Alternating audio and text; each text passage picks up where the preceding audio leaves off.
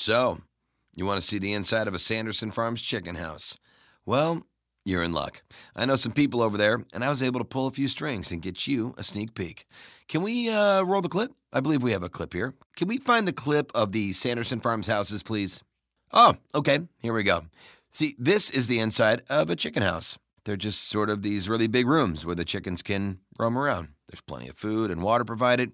It's climate controlled, obviously, standard, and keeps them safe from outside predators like foxes or wolves. Or lions. What? Yeah, I know. I know. I have a weird phobia about lions. There, I said it.